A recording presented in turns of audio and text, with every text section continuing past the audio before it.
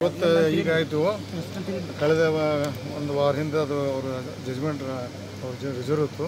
ಭಾಳ ಸಂತೋಷ ಆಗಿದೆ. ಪಾಪ ಅನ್ಯಾಯವಾಗಿ ಅವ್ರಿಗೆ ಕೇಸ್ ಸಿಕ್ಕಿದ್ರು ಅಥವಾ ನ್ಯಾಯ ಸಿಗ್ತದೆ ಮುಂದೆ ಮುಂದಿನ ದಿನ ಸಹ ಅವ್ರು ನಿರತವಾಗಿ ಹೊರಬರ್ತದೆ ಸಂದರ್ಭ ಯಾಕೆ ಇಚ್ಛೆಪಡ್ತೀನಿ ಸರ್ ಅವರಿಗೆ ಧೈರ್ಯ ತುಂಬುವುದಾಗಲಿ ಇವತ್ತು ಭೇಟಿ ನಾವು ಆಲ್ರೆಡಿ ಸ್ವತಃ ಊರಿಗೆ ಹೋಗಿ ಒಳಗಿದ್ದಾಗ ಮನೆಗೆ ಹೋಗಿ ಬಸ್ಬಿಟ್ಟಿದ್ದೆ ಧೈರ್ಯ ತುಂಬಿದೆ ಯಾವಾಗಲೂ ನಮ್ಮ ನಾಯಕ ಸಮಾಜ ಧೈರ್ಯ ತುಂಬುದೇನು ಜರುತ್ತಿಲ್ಲ ಇದೆಲ್ಲ ಮಾಮೂಲು. ನಾವೇನು ಎಲ್ಲರಿಗೂ ಕೆಟ್ಟಿದ್ದೀವಿ ಅದೇನಿಲ್ಲ. ಅಲ್ಲ ಕೆಲವೊಂದಿಷ್ಟು ನಾಯಕರು ಈ ಈಗ ಇಂಥವ್ರಿಗೆಲ್ಲ ಟಾರ್ಗೆಟ್ ಮಾಡಿ ಹೊರಗೆ ಅದೆಲ್ಲ ಏನು ಮಾಡೋದು ಏನು ಮಾಡ್ಬೋದು ಕಳೆದ ನಾವು ಸಾವಿರಾರು ವರ್ಷದಿಂದ ನಮ್ಮ ಸಮಾಜಕ್ಕೆ ಅನ್ಯಾಯ ಆಗೋದು ಹೋರಾಟ ಮಾಡ್ಕೊಂಡು ಬಂದು ನಮ್ಮ ಸಮಾಜ ಹೋರಾಟ ಮಾಡೋದು ಒಂದೇ ಉದ್ದೇಶ. ಅದೇ ಅಂತ ಅದಕ್ಕೆ ಬಹುತೇಕ ಡಿ ಕೆ ಶಿವಕುಮಾರ್ ಅವರೇ ಟಾರ್ಗೆಟ್ ಮಾಡ್ಕೊಂಡು ಹಿಂಗೆಲ್ಲ ಸರ್ ಯಾಕೆ ಈ ಥರ ರಾಜಕೀಯ ಮಾಡೋದು?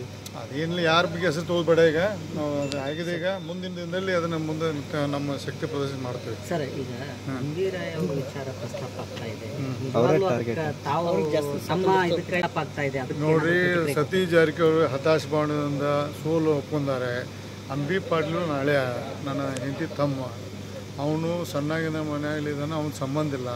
ನಾವೊಬ್ಬ ಯಾವ ರಾಜಕಾರಣದಲ್ಲಿ ಯಾವ ದೊಡ್ಡ ಉನ್ನತ ಸ್ಥಾನ ಇದ್ದಾನೋ ಯಾರೋ ಆಪ್ತ ಒಬ್ಬ ಕೆಲಸ ಮಾಡಬೇಕಾಗ್ತದೆ.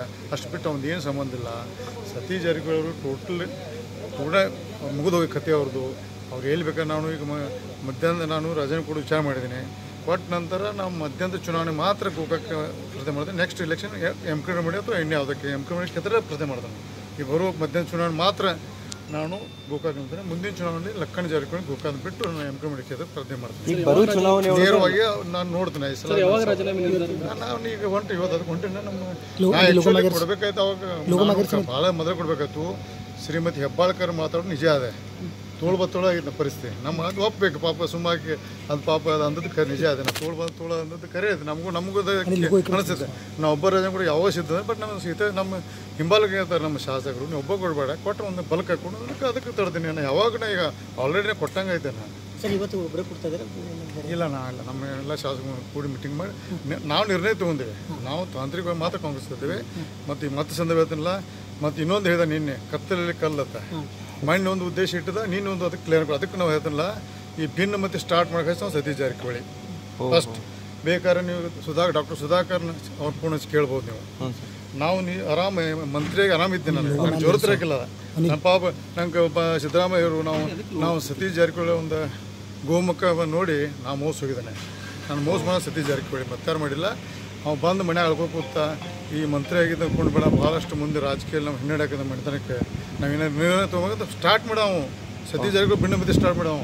ನಿಷ್ಠಾವಂತ ತೋರ್ಸತನ ನಿಷ್ಠಾವಂತ ಕಾಂಗ್ರೆಸ್ ನಾನು ಇಂಥ ದುರೋಹಿಗಳು ಕಾಂಗ್ರೆಸ್ ಕೂಡಿ ಇವತ್ತು ಕಾಂಗ್ರೆಸ್ ಮಟ್ಟ ಮಟ್ಟಿಗೆ ಬಂದಿದೆ. ಸರ್ ಸತೀಶ್ ಜಾರಕಿಹೊಳಿ ಅವ್ರನ್ನ ಸಿ ಎಂ ಮಾಡ್ತೀನಿ ಅಂತೇಳಿ ಅಷ್ಟೆಲ್ಲ ನೀವು ಕಷ್ಟಪಡ್ತಾ ಪಡ್ತಾ ಇಲ್ಲ ನಾನು ನೋಡಿ ಅವಾಗ ಒಂದು ಉದ್ದೇಶ ಪಾಪ ಒಂದು ಇಲ್ಲಿ ಬೆಳಗಾವಿ ಸ್ಥಿತಿಗತಿ ನೋಡಿ ಅವನ ಕರುಣ ಬಂದು ಅಂದಿದ್ದೆ ನಾನು. ಅವತ್ತು ಕೆಟ್ಟ ಮರಿ ಮಾಡ್ಕೊಂಡು ಅಳ್ಕೋತ ಬಂದು ಕೂತಿದ್ದೆ ನನ್ನ ಕಡೆ.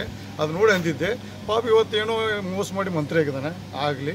ಅದನ್ನ ಈಗ ಮುಂದಿನ ದಿನ ತೋರಿಸಿ ಈ ಮ- ಮಧ್ಯಾಹ್ನ ಚುನಾವಣೆ ಮಾತ್ರ ಗೋಕಾಕ ನೆಕ್ಸ್ಟ್ ಚುನಾವಣೆ ಎಂ ಕಮಡಿ ಕ್ಷೇತ್ರದ ಸ್ಪರ್ಧೆ ಮಾಡ್ತಾರೆ. ಅಥವಾ ಬಳ್ಳಾರಿ ರಾಯಚೂರು ಯಾವ್ದನ್ನು ಮಾಡ್ತಾರೆ. ಸರ್ ಲಕ್ಷ್ಮೀ ಹೆಬ್ಬಾಳ್ಕರ್ ಅವರು ನಿನ್ನೆ ಹೇಳಿದ್ದಾರೆ. ಅವ್ರು ರಾಜೀನಾಮೆ ಕೊಡ್ಲಿ ಅಲ್ಲ ಕೊಟ್ಟಾದ್ಮೇಲೆ ಅವ್ರ ಬಗ್ಗೆ ಮಾತಾಡೋದಿದೆ ಭಾಳ ಇದು. ಭಾಳ ಮಾತಾಡೋದಿದೆ. ನಾನು ನೇರು ಹೈದರಾಬಾದ್ ಮಾತಾಡಿದ್ದೇನೆ ಆಕಿದು ಭಾಳ ಹೇಳಿದೆ ಆಕೆ ಏನು ತಿಳು ಆಕೆ ಏನು ಕುಟುಂಬದ ಹಿನ್ನೆಲೆ ಅಂತ ನನ್ನ ಕುಟುಂಬ ಹಿನ್ನೆಲೆ ನಾನು ಹೇಳ್ತೀನಿ ಆಮೇಲೆ.